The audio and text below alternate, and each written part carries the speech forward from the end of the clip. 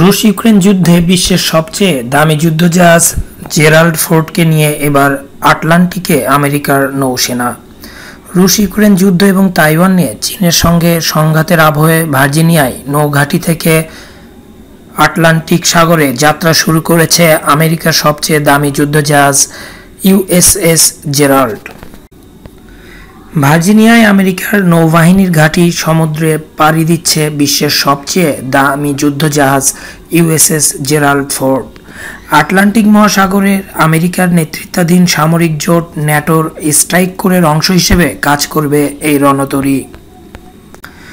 রুশ ইউক্রেন যুদ্ধ এবং তাইওয়ান নিয়ে চীনের সঙ্গে আমেরিকার সংঘাতের আবহে আটলান্টিকে পরমাণু চালিত এই বিমানবাহী যুদ্ধজাহাজ মোতায়েনের ঘটনা তাৎপর্যপূর্ণ বলে মনে করেছে সামরিক বিশ্লেষকদের একাংশ।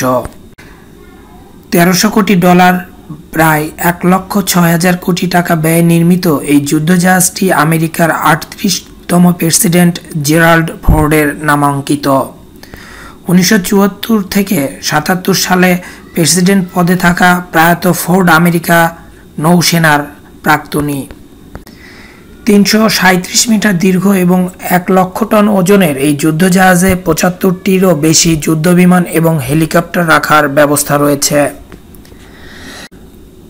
বিমানবাহী রণতরীর ফ্লাইট ডেকের প্রস্থ প্রায় আটাত্তর মিটার, তাতে রয়েছে দুইটি রানওয়ে।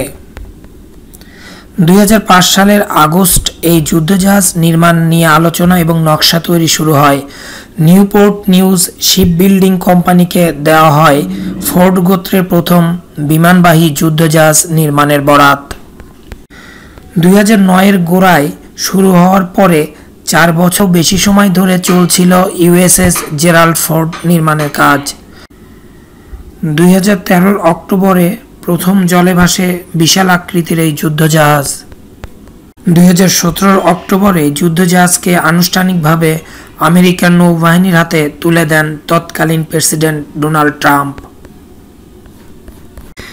পঞ্চাশের দশকে তৈরি বিমানবাহী যুদ্ধজাহাজ ইউএসএস এন্টারপ্রাইজ দুই সালের ডিসেম্বরে আমেরিকার নৌবাহিনী থেকে অবসর নিয়েছিল। ইউএসএস জেরাল্ড ফোর্ডকে সেই শূন্য স্থান পূরণে কাজে লাগানো হয়।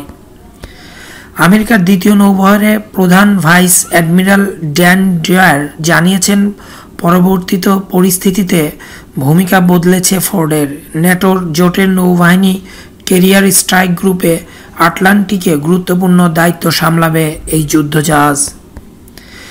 দুটি পরমাণু চুল্লি বিশিষ্ট এই যুদ্ধজাহাজ বেশ কয়েক বছর টানা সমুদ্রে থাকতে পারে। ওই সময়ের মধ্যে জ্বালানির জন্য কোনো বন্দরে ভিড়তে হবে না ফোর্টকে সামরিক দৃষ্টিকোণ থেকে এটি বড় সুবিধা।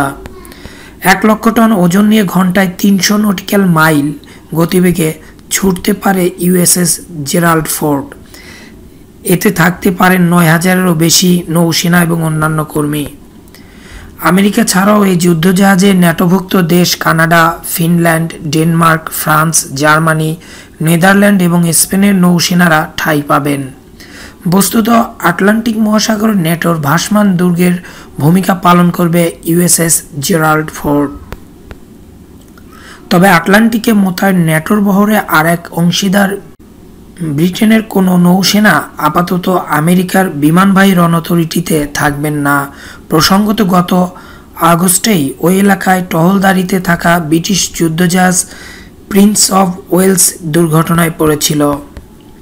বিমান বিধ্বংসী স্বয়ংক্রিয় কামান ও ক্ষেপণাস্ত্র, সি স্প্যারো ক্ষেপণাস্ত্র ফ্যালনেক্স ক্লোজ ওয়েপন সিস্টেম সমৃদ্ধ এই ইউএসএস জেরাল্ড ফোর্ডের আত্মরক্ষার ব্যবস্থা অন্য বিমানবাহী রণতরীর তুলনায় সুদৃঢ় বলেই মনে করেন নৌপ্রতিরক্ষা বিশেষজ্ঞদের অনেকে। ফোর্ডের গোত্রের আরেকটি বিমানবাহী যুদ্ধজাহাজ ইউএসএস জন এফ ক্যানেডি নির্মাণের কাজও ইতিমধ্যে শেষ হয়েছে। চলছে সমুদ্রে পরীক্ষার পালা। এই গোত্রের ডরিস মিলার এন্টারপ্রাইজ সহ মোট পাঁচটি যুদ্ধজাহাজ তৈরির সিদ্ধান্ত নিয়েছে আমেরিকা। তাইওয়ানের সঙ্গে চীনের সাম্প্রতিক সংঘাতের প্রেক্ষিতে আমেরিকা নৌসেনার আরও এক বৃহৎ বিমানবাহী যুদ্ধজাহাজ নিমিটস গোত্রের ইউএসএস রোনাল্ড রেগনকে সম্প্রতি চীন সাগরে মোতায়েন করেছে প্যান্টাগন।